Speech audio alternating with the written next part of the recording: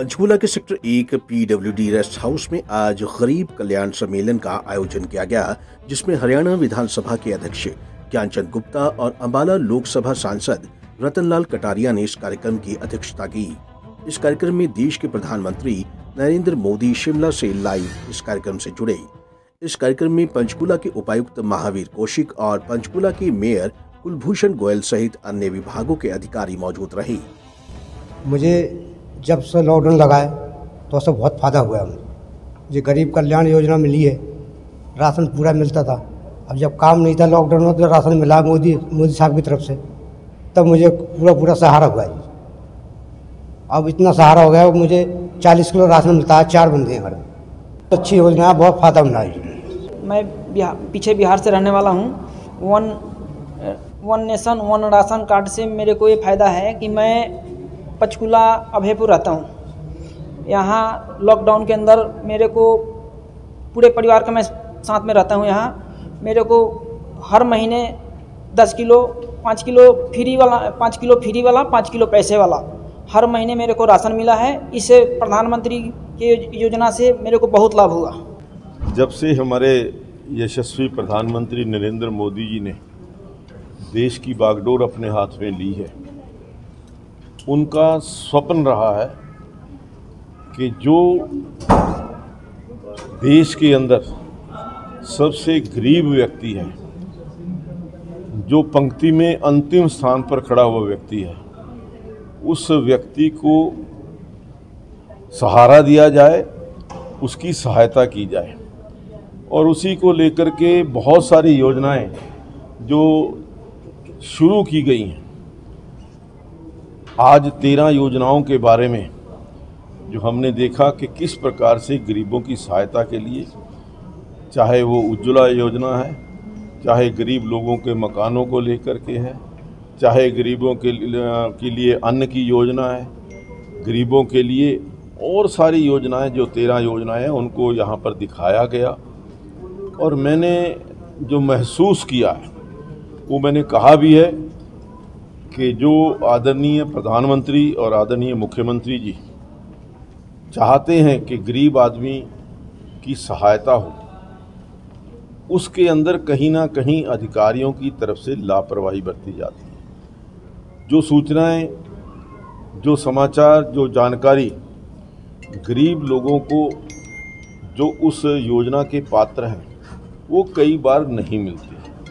अगर उनको उस योजना के बारे में जानकारी नहीं होगी तो उसका फ़ायदा नहीं उठा सकते। तो मैंने विशेष आग्रह किया अधिकारियों से कि इन सभी योजनाओं की जानकारी उन सब गरीब लोगों को मिले जो इसके पात्र हैं। और जो भी अधिकारी जिस जहाँ जहाँ पर भी जिस योजना को लागू करने के लिए जिम्मेवार हैं, वहाँ पर ये विशेष प्रबंध होना चाहिए कि जो पात्र है, उसको बार बार कार्यालय के चक्कर ना लगाने पड़े। एक ही बार के अंदर उसको जानकारी मिल जाए कि कौन कौन से डॉक्यूमेंट्स रिक्वायर्ड हैं। और वो डॉक्यूमेंट्स एक बार जमा होने के पश्चात जो सेवा का अधिकार नियम के तहत जो समय सीमा है, उस समय सीमा के अंदर वो कार्य पूरा होना चाहिए। तो मैं समझता हूँ कि तभी जो प्रधानमंत्री जी की और मुख्यमंत्री जी की इच्छा है गरीब लोगों की सहायता करने की, गरीब लोगों का जीवन स्तर ऊँचा करने की, वो इच्छा पूर्ण हो सके। कल भारत माता के लाल जननायक नरेंद्र मोदी जी का प्रधानमंत्री के रूप में आठ वर्ष का कार्यकाल पूरा हुआ था और आज में हिमाचल प्रदेश के अंदर जन कल्याणकारी योजनाओं पर जो आज तक के बेनिफिशियरी रहे हैं, उसके ऊपर आज प्रकाश डाल रहे हैं कि किस तरह से उन्होंने आठ वर्ष के अंदर उनकी जो भी योजना थी, उसका दरवाज़ा गरीब के घर जाकर खुला, चाहे वो शौचालय की योजना थी, स्वच्छता अभियान को लेकर, चाहे वो नल से जल की योजना है, चाहे वो नौ करोड़ बीस लाख महिलाओं को एलपीजी कनेक्शन देने की बात है, चाहे वो देश में तीन करोड़ लोगों को मकान का स्वामित्व देने की बात है चाहे 45 करोड़ लोगों से ऊपर जनधन के खाते खोलने की बात है चाहे आ, मुद्रा योजना की बात है और आत्मनिर्भर भारत योजना के अंतर्गत चाहे अपने देश को सेनाओं के आ, मान और मर्यादा के लिए आत्मनिर्भर बनाने के लिए जो मेक इन इंडिया का कार्यक्रम चला है और जिसके अंतर्गत हम बड़े से बड़ा हथियार भी अपने देश में बनाने लगे हैं। और किस तरह से डिजिटल क्रांति के माध्यम से हम सारे भारतवर्ष के अंदर एक क्रांति ला रहे हैं, उन सब योजनाओं के ऊपर आज बातचीत हो रही है।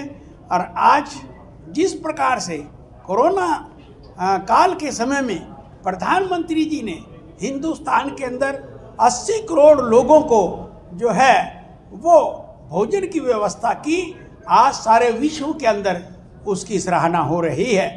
अभी चार पाँच दिन पहले जापान के अंदर जो है क्वाड सम्मेलन था, जिसमें अमेरिका, जापान और ऑस्ट्रेलिया के प्रधानमंत्री और राष्ट्रपति शामिल थे।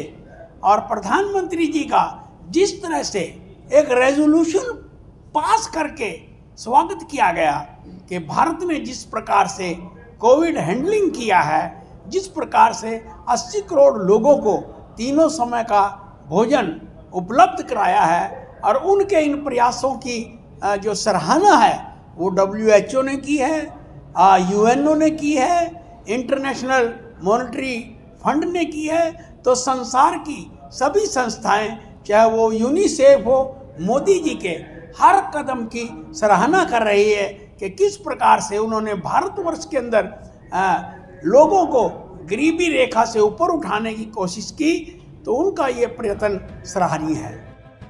गौरतलब है कि इस मौके पर जिला के लाभार्थियों ने बताया कि केंद्र सरकार द्वारा दिए जाने वाली सभी सुविधाएँ उन्हें मिल रही है और उन सुविधाओं के मिलने से उनका जीवन सरल हुआ है।